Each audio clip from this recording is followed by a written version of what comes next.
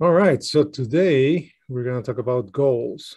So, but I titled this talk Goals 101 because it's really the basic, the most basic about goals when you start thinking about goals.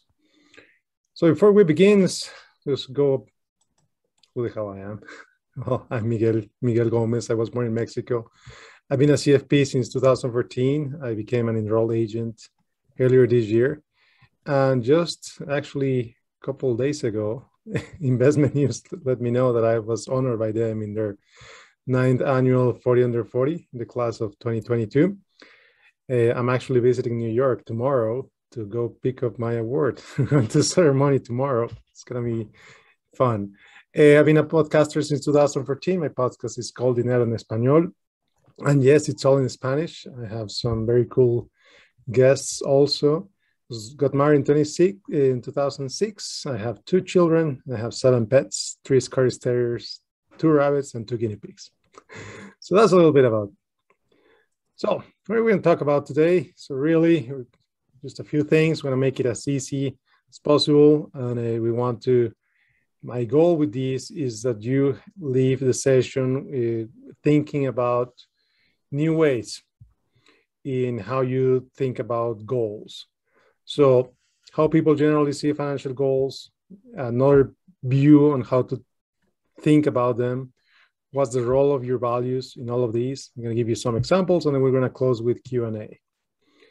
Okay, so how do people usually see financial goals? They see them as a destination. They see them as a huge number, five million dollars. I want to be, I want to have five million dollars. I'm gonna get to the top. I'm gonna go to the goal uh, to get to the destination. I'm going to get there, uh, and I don't know what's going to happen afterwards, but I see that big number in my head. There was an, uh, a campaign a few years ago by one insurance company saying, "What's your number?" So where people were thinking, they were making people think about what's their retirement number, so that they should strive to get to that number uh, eventually. Now the problem, what's the problem with this view? Well, I see three major problems. Number one, goals seem unreachable. So when you're just thinking, well, how how am I going to save three million dollars? How am I going to get to whatever number? It seems incredibly high. It's impossible. I will never be able to do it. So what happens? People don't actually work for them. People don't do anything to get to them. Well, it's so difficult. Why should I bother? I don't want to do it. Kind of like running for a marathon. I do think of a marathon. I never ran one. I just uh, enrolled. I just put my name to run a half a marathon in, in February. I have no idea how I'm going to do that because I've never done that, but we'll see how that goes. Uh, but today that seems unreachable, especially because I've never ran that distance. Um, so for some people, that's a turnoff. Well, then people that really, really, then we go to the other extreme. People miss out on life they get so focused on their goal, they get so focused on their number that nothing else matters. Uh, and this is kind of like when the fire movement, uh, one of the cons that I have eh, against, one of the things that I have against the, the fire movement is that people get so focused on the number, people get so focused on financial independence, on retirement, retiring early, that they stop living. They eat canned tuna. They're making hundreds of thousands every year and they eat canned tuna and they miss out on life. Uh, to do what? To get to that big number and then not knowing what to do. This kind of the third problem that I see is okay, so you work so hard to get to your number, you got to your number, now what? You got to your goal, now what? What's next? You planned, you worked so hard for so many years to get to your goal, but you never really thought about what you were gonna do afterwards. And I've seen that problem with people that uh, older people, uh, retirees, for example, that I that I that I know that I work with, people that they know very good, they know very well how to save. They save their entire lives. They build, they have incredible networks, but now they don't know what to do with that money. They're scared about spending that money. They're worried about overspending. They're they don't know what to do. So let's just give it another shot. Just give it another view of what financial goals should be, how you should treat them, how you should uh, strive to achieve them. And the first, instead of seeing goals as the destination, as the place to get there, what if you see the goals as a journey? So going back to my to my half a marathon race that I hope to finish in February, well, the goal is not getting to the finish line, the finish line on the marathon or the race. The goal is the training, the preparation, the every day that I need to do. I need to do something to be able to run that. So it's really the the, the journey, the process, the the all the days, all the training, all the eating well, all the sleeping well, everything that needs to be done to be able to get there. But okay, so what does this mean? Well, let's let's break it out in a little in, in some parts. So, first of all, your goals should be a source of energy, not a drain. In other words, you when you have something you are striving to achieve, that's where your energy should come from. But when your goal is draining you, when you feel bad about your goal, when when your your goal is so stressful, well, maybe it's time to rethink your goals. Maybe it's time to think differently about your goals. Another thing, very, very critical goals are not set in stone. Your goals should be flexible in how you achieve them. So, this is uh, something that I've told many people over the years as well. Uh, people may say, Well, I want to get to 3 million bucks. Okay, fantastic. And then when, when we start talking with them, when we start talking to them and asking more questions to them, it's really, they don't really want the money. What they want is the lifestyle that they believe that they be able to, they would be able to afford with that money. So yeah, the money is important. Getting to that number may be important, but in reality, maybe what they they're striving for is not the three million bucks, it's the ability to spend more time with their family, for example, or the ability to not worry about the next thing so it's instead of fixating about the number, you should be more flexible about how you execute that goal, how you uh, leave that goal, which leads us to the most important thing. Your goal should be a reflection of your values. First of all, they should, should not be a reflection of someone else's values. And second of all, they shouldn't be just a random number that you picked out of who knows where. So this is this is probably the most important slide of the of the press of today's presentation. Your goals should reflect your values not someone else's. So the the so this is called value-based goal setting. So the first question that comes to mind well first of all what are values? If you're telling me that i should set my goals based on my values what are values? Well values are you can say universal you can say they're they're they've been known for millennia but really at the end of the day your values are your principles. Your principles are, and your values are the definition of what is important for you to you. And this is also critical. Uh, you, I, have, I have asked this question to many people what's important to you? And it's funny because many many times what i get is a blind ship uh, uh, uh, like you like a deer getting the lights in the road. When you ask someone what's important to you and they don't most of the time people don't know.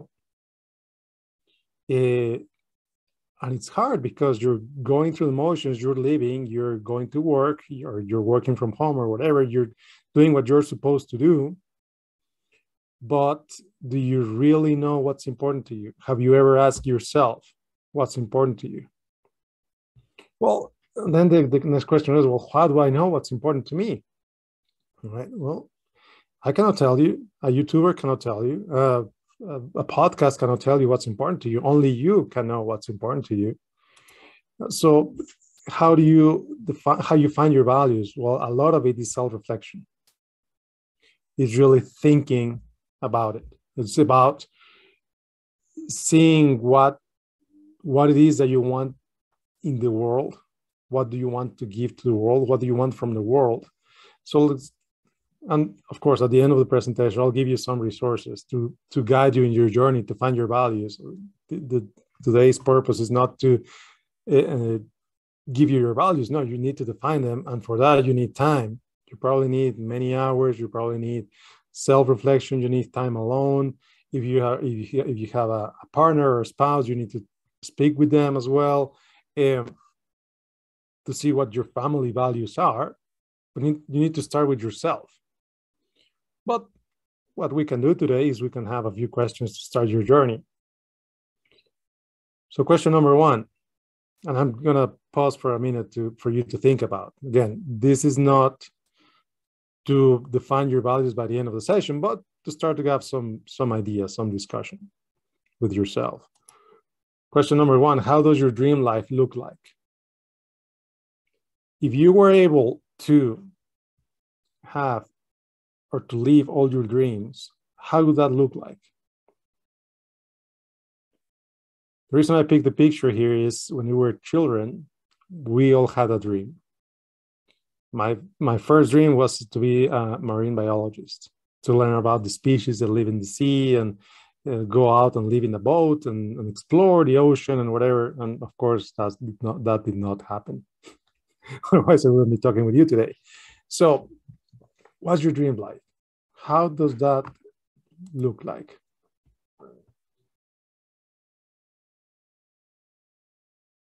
Have you ever thought about your dreams? What do you dream? What do you want to achieve? If you had everything you wanted, how would that be? What would that be? It's really, I'm not talking about having $10 million in the bank. No, I'm talking about your life, not about your possessions. I'm talking about your life. How does your dream life look like? I'm going to pause for a moment there.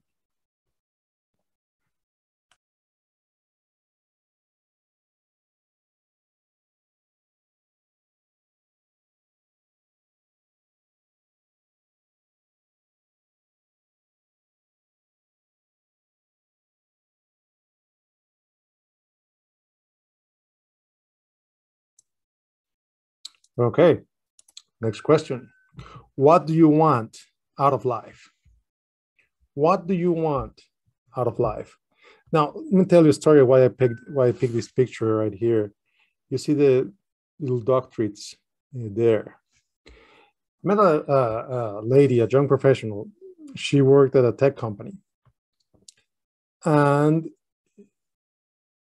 if if she weren't if she wasn't in her 20s if she wasn't in her 60s she would be the, the crazy dog woman. You know that stereotype of this lady with uh, of this person with many cats or many dogs. Well in her case dogs were her life. Everything she did was so that she was able to feed more dogs to rescue more dogs to give money to charities that support dogs to uh, pay uh, bad bills of sick dogs or whatever. Uh, dogs were her life. And her mom would tell her many times, hey, stop spending so much money in dogs. Stop doing that. You're crazy. Well, at the end of the day, that was her life. That was what was important for her. She couldn't see life. If she saw a dog suffering, she could not just let it go. She would need to take care of that dog she would need to have the money to pay to, for that dog to be taken care of. Didn't matter to her if she lived miserably, miserably, because she was happy with her life. So, in, in, for her to take care of stray dogs, to take care of sick dogs, was a very high priority, was high in her value list. So, what does it what does it mean for her? Well, it meant that she needed to work very strict hours. She couldn't stay longer than needed. She couldn't stay longer than than than you know five o'clock in the afternoon or six o'clock or whatever because she needed to go home to take care of the dogs.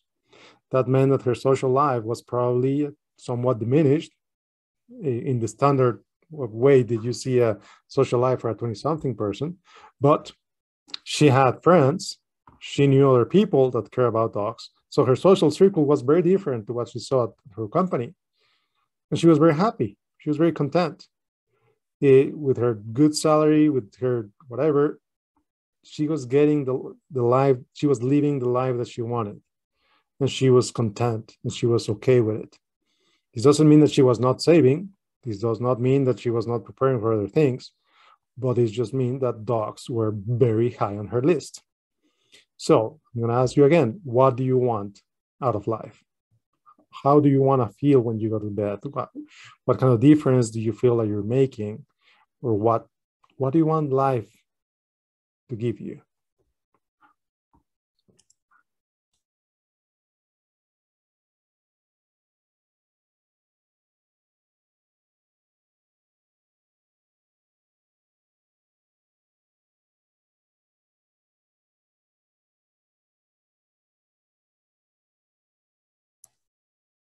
So this is today. What do you want out of, out of life today? But then again, the next question is, what do you want now? What do you want in 10 years, in 20 years? What do you want beyond 20 years? And for some people, this, this is unfathomable. This is something they cannot think about. For some people, this is something that one of my mentors told me when, when I when I first um, work, started working with him told me, and, and I'll never forget this. People that are in survival in survival mode, and if you're first gen, it was probably your parents or your or your grandparents. People that are in survival mode, they can only think about the next meal, where the next meal is going to come from. What are, uh, what are we going to eat today? Where are we going to eat tomorrow? That's your that's your the only worry that you have, your next meal. When you're a little bit better than that, your next worry is what are we going to do in the weekend? Where am I going to take my children in the weekend? Where are we going to go? What am I going to do in the weekend? You're a little bit better. Where am I going to go on vacation next summer? Right? You're already thinking it's summer now, but you're already thinking about next summer. You're planning for a year ahead. You get a little bit better, and then you start thinking, well, what am I going to how I'm going to save for retirement. How are you going to do these? How are you going to do that? And then your goals get longer and longer because probably because everything short period is already taken care of. You don't have to worry about any of that until you get to a point where your worries are what are my what are my grandchildren what are my grandchildren going to do with their money they're going to inherit from me how do i make sure that they do the right things with that money then all of a sudden you're thinking 50 years down the line. You don't even have children, you're already thinking about your grandchildren. so uh, this is very interesting. It doesn't mean that you have to know everything right now. Obviously, you don't. You focus on what you can focus today. If you're in survival mode, if you're in survival mode now, focus about what can you do to get out of survival mode. If you're already making good money, if you're already putting money in your 401k or whatever, well, you can still take steps towards the future, even if the goals look uncertain today. Even if you don't know how you're going to retire, even if you don't know what's going to come next, uh, even if you don't know where you're going to be working 10 years from now, you can still do things today for that future self. And your future self will only thank you because you're preparing for your future self. So if, how does this look like? Well, you can set multiple goals.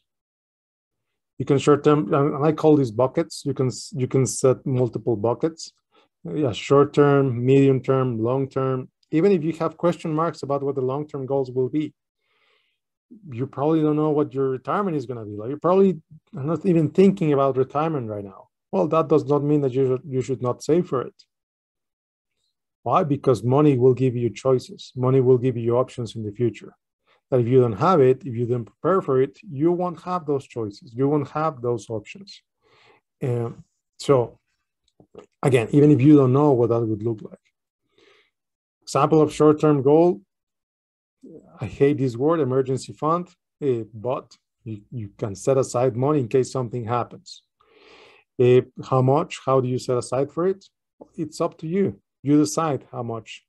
Uh, but some people say three months of living expenses, six months of living expenses, one year of living expenses, 18 months of living expenses, whatever it is, that can be a very good short-term goal. That, that that's uh, like a check mark of doing things right for your personal finance. Having do you have an emergency fund? That's the first thing I ask people when they're asking me about investing. You'll be surprised. Many people don't don't don't. So I tell them, well, don't invest until you have an emergency fund. The purpose of the emergency fund is not to generate return. The purpose is that it's money that it's there in case you need it. It's not returns. You should not care about returns about your when when talking about emergency funds. So again, we're talking about short-term, medium-term, long-term goals. If you're thinking about retiring, about retirement, about if you're thinking about the next step after you you transition from work or whatever, well, you break your big goals in micro goals. For example, you don't know what retirement will look like, but that does not mean that you cannot set aside X amount of your salary every year. Or that does not mean you cannot, you don't strive to have a balance, whatever balance, in your savings account. Or, for example, you're still in debt. Well, you can set aside of, of the side to have no high interest debt by whatever year right? So these are practical steps, practical goals that you can decide that you can set so that you can start working towards the life that you want. Now, the next step really is probably another way, it's, it is another way of looking at goals, which is Simon Sinek's Golden Circle. If you've seen his talk, Start With Why, if you read his book, Start With Why, this, you'll understand this very well. If you have not, I highly recommend you this, that you do it, that you at least watch the TED Talk. If not, if you already watch it, buy the book. So why? Well, the why is your values. You always need to start with your values. Everything that you do eh, when you're talking about what you're trying to do, what you're trying to achieve, it should start with your values. Then is your goals. Again, your values are driving your goals. And finally, the what, the vehicles you'll use. Here's what many, many people get backwards. They start thinking about Bitcoin, they start thinking about uh, DeFi, they start talking about all those whatever investments or gold or, or, or QQQ or whatever investment because it's giving them the best, it's, it's giving them good returns. And they think about all of that before thinking about their values before thinking about their goals. You should do it the other way around. You should start with your values. If not, what happens? Well, what we saw last year, what I've what I've seen with uh, this year, last year we had a lot of crypto millionaires. They're saying hold, hold, hold, hodl, or whatever you want to say. Hodl, I will never sell. Well, someone that says you'll never sell is because you don't have a goal. You don't have clarity about what you want You just want to go to the moon for what? Right? What if you have clarity about what you want to achieve, you sell when Bitcoin is at 60,000, you don't care what happens next because you're already there. You already get got to your destination. You already satisfied your need of 1 million, 10 million, 10,000, 20,000, whatever it is. You don't need to continue to play the game if you already won. But if you don't know what you want, if you don't know your values, if you don't know your goals, it will be very easy for you to continue to play because you don't have clarity. Your only goal is a bigger number. And we all know what happened with Bitcoin this year. We all know what happened with all the other cryptocurrencies this year. It's millionaires, well, former millionaires that now they are, some of them are severely depressed. Many are thinking unthinkable thoughts some are just resigned. Oh, okay, all right, I lost money. Okay, oh well. Well, no. Yeah, you lost money, but what are you going to do about it? Are you going to plan now? Are you going to have a clear path of what you're going to do with your money going forward? Or do you just continue to hold and see whatever happens? No, your life, your values should determine what happens next, not the price of some random security. So let's talk about some examples.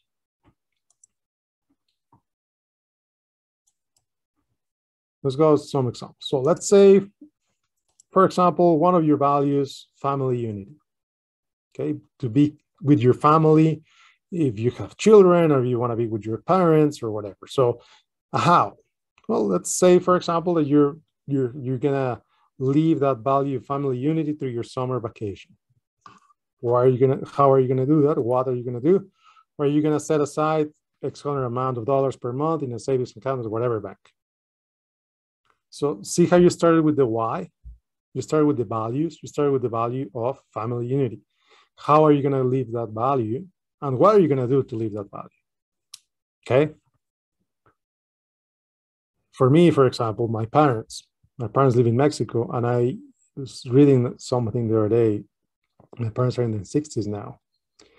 That means that uh, their life expectancy is around 80, although with all these things going on, they may go sooner. If I only see them once a year, if I see them three days a year in person, that means I'm only going to see them probably 30 years, 30 days for the next 10 years. Is that enough? Is that enough to see my parents for three days a year for the next 10 years? If I love my dad, my parents, probably is not enough. If I don't care about my parents, it's probably more than I want to. So, but it really depends on what your relationship with them.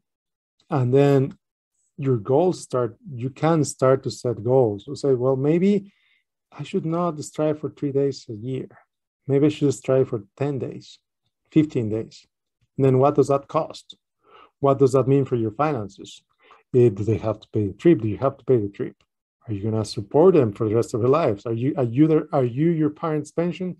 I know that I am, because my parents are in Mexico. They, they didn't save, they didn't do anything for, for their future. They bet on me and they bet on my brother. So uh, now I'm gonna have to pay that. I'm very thankful for whatever they did, all everything they did, they did for me and for my brother. So I only see it fair that I need to contribute to their future. So how do you plan for that? Another value, security. Security is very important, for me at least. How do I leave that value? Well, I save for my future self. How do I save for my future self? Well, by living below my means, by maxing out, maxing out the 401k, for example, by investing aggressively. Maxing out, maxing out your 401k does not mean just put whatever much you get. No, it really means maxing it out if you're able to. You can put 19,500 per year. If you're under 50, if you're under 50, if you're over 50, you can put 7,000 more. Uh, and invest aggressively. Why? Because I value security, because I see, because having more money allows me, talking about me, Miguel, to have more security. I don't know, you may be different. I'm just talking about myself here. Uh, example number three value, knowledge. Knowledge is very, very important to me. How do I leave that value? Well, I always look for opportunities to learn. How do, what does this mean? Well, 10% of my income is going to be used to buy books, courses, trainings, whatever, without guilt. This is very important. When you live your values, there's no guilt. Why, why would there be guilt? Why should there be any guilt if you're living in accordance to your values? It shouldn't. If you buy something and, makes, and that makes you feel bad, that makes you, that means that you're not living in accordance to your values if you go out your, with your friends every week to a club and spend a hundred bucks in drinks and you feel terrible, well, you may be hungover, but you may also be feeling guilty about the money you spent because you didn't want to spend that money, but you felt forced to spend that money. Hundred bucks a week is five thousand dollars a year in drinks. Does that make sense? I don't know. It may make sense to you. But again, if you don't know your values, you will never know it. Okay. So if I haven't repeated myself enough times, let your values guide your choices. Know yourself. When you know yourself, it's easier for you to say yes to things. It's easier for you to say no to things. And you can live happily. All right. So, any questions so far? Or any questions. I mean, that that's that's it. That's all I wanted to share with you today.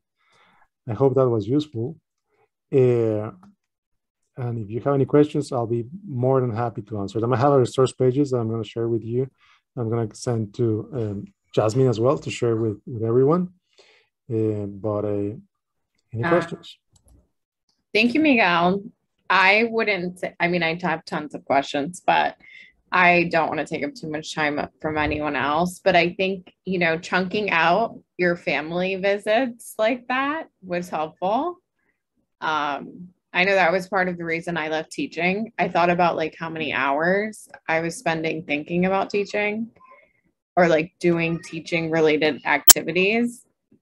And then I thought about my sleep schedule and I ended up with like three free hours of life. And I was like, oh no, this is crazy.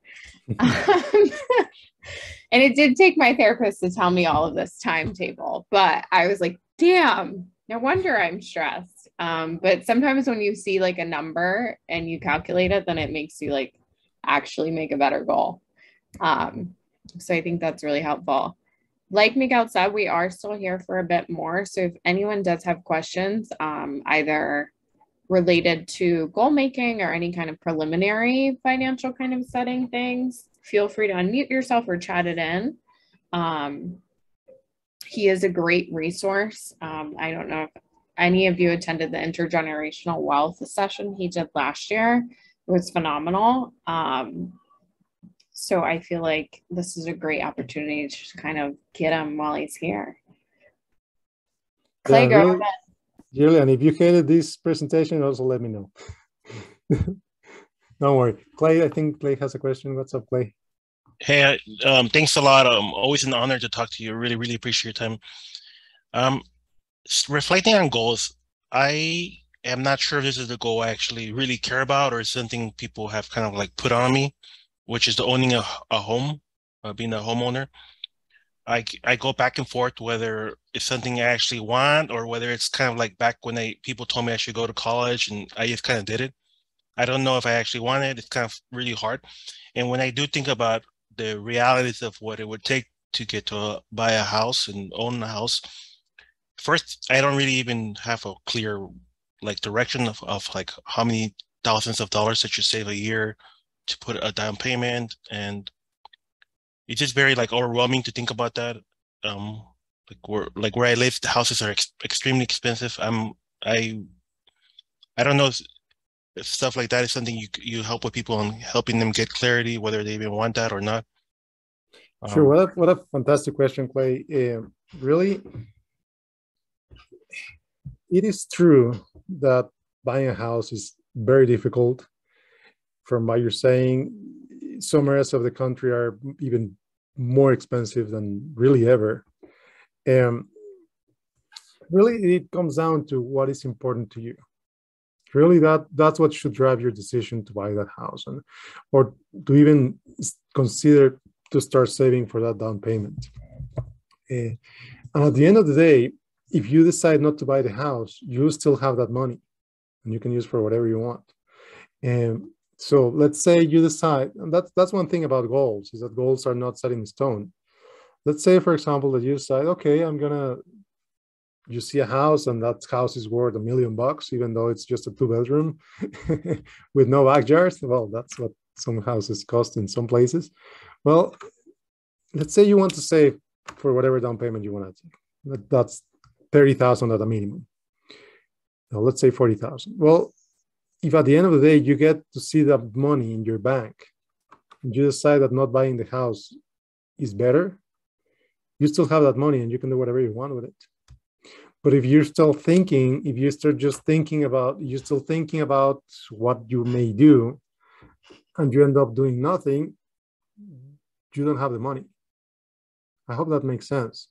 Uh, so even if it's a temporary goal of you know i'm gonna just set aside money say if it's for the down payment and you have enough money turns out you don't want to turns out you don't really want to buy a house well you still have that money and you can use it to do whatever you want but if, if you feel that you are having paralysis by analysis you're thinking so much about it you don't do nothing that can be more costly in the long run.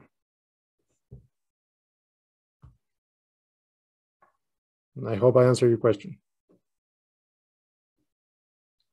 Let me know if I didn't. Uh, do you know how that? Do you let's just say I hypothetically tomorrow say I'm my goal is to buy a house, and I unfortunately live in those places where a house is about a million dollars. Mhm. I don't. Does that in? Does that mean I have to save twenty five percent or twenty percent of a million dollars? Those are the things that. Yeah. So I have to save like two hundred grand in the next few years. Is that pretty much the reality of buying a house? I mean, there, there's some house buying programs that allow you to to buy a house with a little with as little as three percent, three to six percent. So if it's a million bucks, it could be sixty thousand. So yes, if you don't qualify for those programs, yeah, it should be about twenty to twenty five percent plus closing costs and whatever. So yeah, we're looking easily two hundred thousand. Now, that's an interesting position to be because how many years is going to take you to to be in that place to, to have to save 250000 well what if in 10 years you move out of where you are right now and you go to a place where you can buy a house cash for that money instead of financing? So life is unpredictable. We don't know where we're going to be in 10 years from now. But having being able to save that money gives you more options further down the road than not saving it That's a great point. This is Lauren. I just wanted to add that today um, I was uh, listening to some podcasts, uh, New York Times, also the Daily, and I heard somewhere that yeah, you should expect to pay around two 200k down payment um, right now or for the next few months.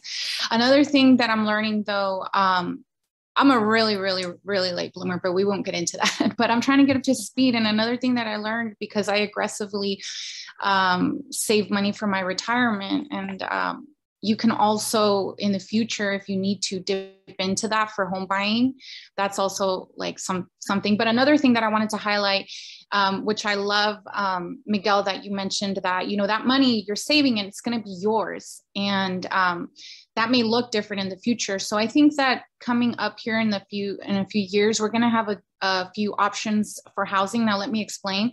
With uh, remote work now, there's talk that um, real estate developers are going to actually build intentionally communities and in places where there aren't currently like uh, big metropolitan cities, but they will build them um, so that they're more accessible for people who want to live areas such as like where I live in San Francisco, where home buying is literally unaffordable for me. But yeah, I would just say don't feel don't feel disheartened, right? Because I'm on that same boat with everyone, but I just keep saving and thinking that maybe someday, you know, they will meet me halfway somewhere and I can get into that real estate pool. Mm-hmm. There you go. Thank you, Lauren. Great points. Anything else? Any other questions? Any comments, complaints, jokes? Anything you want to add? Miguel, hello. This is Oscar. Hi, Oscar. Um, one, thank you for just the information and everything that you've been giving us these past few minutes of education. Um, I've noticed that, well, one, I, I found your podcast in the Spanish one and the Apple podcast, and that kind of amazed me. It's like, oh, I got to learn more about this and more about how you're teaching this to our communities. Mm-hmm. And I feel like it's more targeted for us, the millennials, right? Um, mm-hmm. I, I think Clay mentioned that that his parents or his generation was um, the pressure of going to school. And now after school, it's like, all right, buying a home. So will you be providing more of these workshops for specifically us younger younger generation so that way we could be more informative and then bring an awareness to our communities as well? Because I feel like the cycle of getting this information from a white financial uh, certified planner versus a Hispanic certified uh, planner is totally different. Um, so I don't know, like, will you guys be partnering up and doing more workshops of this, um, or how is that going to work out? Yeah, so there's going to be a, a, Goals 202 in July, which I go a little bit deeper in goal setting.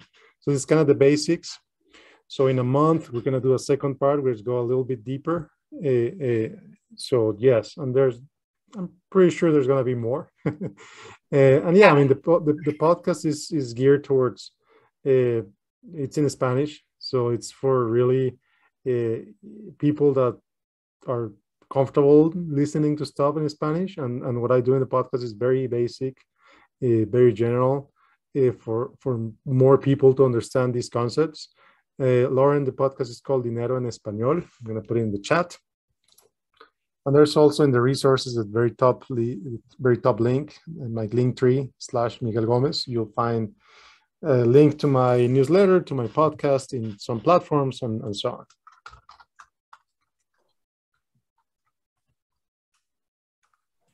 Yeah, I want to. This is Omar Reynoso. I want to thank you for coming out here, Miguel. I think me as an older uh, guy came in. I came into the investing later in life. Um, I, I, came through the military uh, because I, I, I didn't see for it was harder back in, in the 90s uh, how to go straight into college uh, with my parents, you know, both working in the fields and whatnot. So uh, I, I think this is this is a great uh, beginner course for younger the younger generations, Latinx, and everybody else because if I would have known this stuff when I, I, was, you know, fresh out of, out of, you know, fresh into the military or fresh into the workforce, it would help me out a lot because I didn't start investing until I was in my 20s. Don't get me wrong, it, I did um, save enough money. I have my own home. I'm, I'm recently retired out of the army. So, yes, I did uh, do right. But if I would have learned a few years earlier, which is a lot of these younger generation right now, they're not doing this so much information to include that um, to know how much you need to save. Like you know, uh, Clay was saying how well, I need to save two hundred thousand for a house, or uh, Laura was saying about in San Francisco. You got to look at it also as well is look at where you're living at. That's uh, you know look at look where you where do you want uh, like this is what we do in the military. We decide, hey, where do I want to live when I retire? Um, what's the job I want to do there when I retire?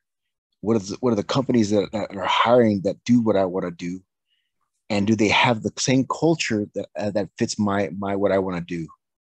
And those are like simple steps that we we, we uh, I, I, I, teach that on my own to my uh, fellow uh, veterans and, and fa- family that are transitioning as well. Great. Thank you, Omar. Thank you so much. Yeah, this is every everyone that I meet uh, when I when they hear stuff like this, they always tell me, "I wish someone told me this earlier."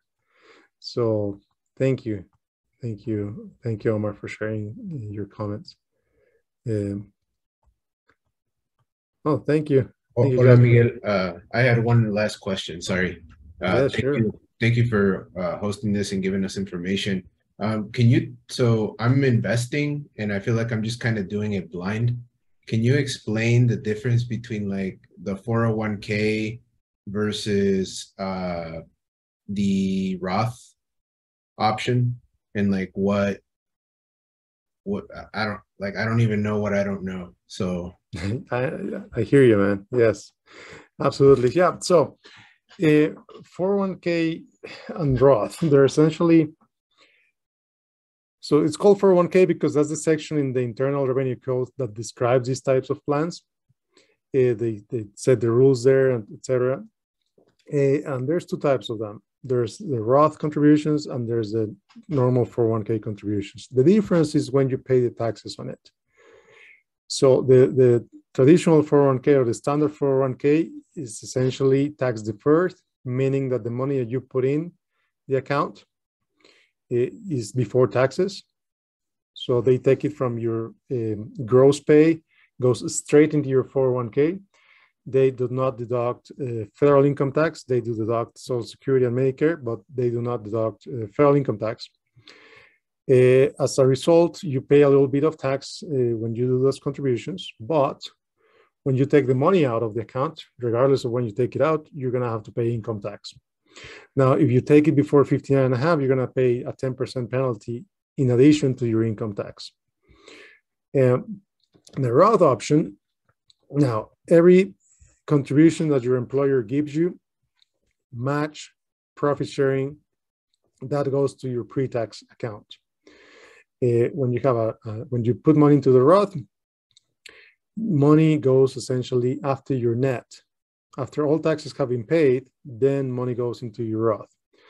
Eh, and what that, what that does is that you already pay taxes today. That means that if you have the plan for at least five years, you won't pay taxes when you take it out. If you take it out before 15 and a half, you're going to have to pay 10% tax on the earnings.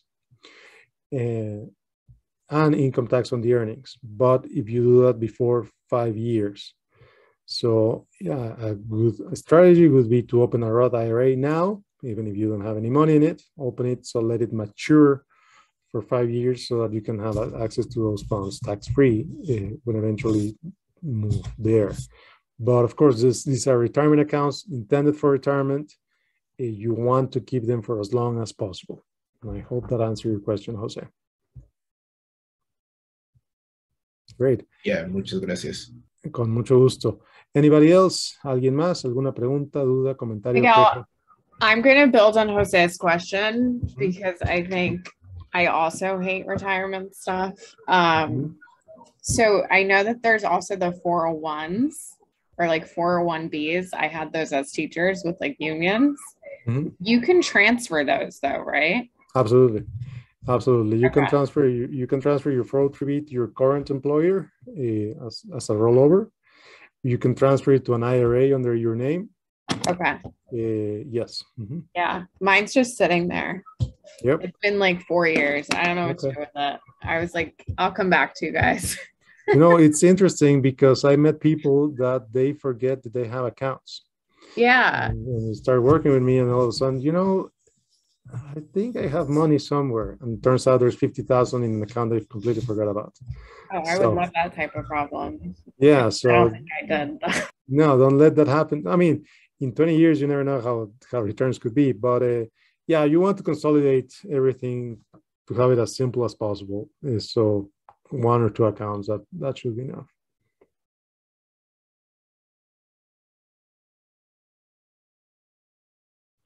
Any other questions? Any other comments? If there aren't any, I think I also want to extend a thank you. Um, and I forgot who asked if there would be another. There definitely is one for July. And then I will, I think in general, there's just so many financial questions. And I think to that point, I do love hearing like from a Latino or someone that's Latinx, like how I can break down my finances. Maybe it's just like that weird, like imposter syndrome of like having to explain that I don't know shit um, to a white person. That's just not comforting, but I think it's helpful. So we'll definitely see how we can continue kind of pushing some of this to more Techqueria members.